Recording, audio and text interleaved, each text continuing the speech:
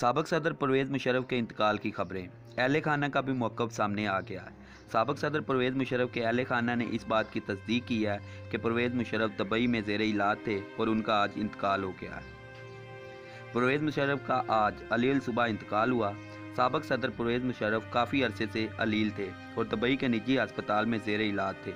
याद रहे कि सबक सदर परवेज़ मुशरफ 11 अगस्त 1943 को नई दिल्ली में पैदा हुए थे। परवेज़ मुशरफ का ख़ानदान उन्नीस में नई दिल्ली से कराची मुंतकल हुआ था। परवेज़ मुशरफ ने कराची के सैनट हाई स्कूल से तलीम हासिल की। परवेज़ मुशरफ ने बाद में एफ़ सी कॉलेज लाहौर से तलीम हासिल की।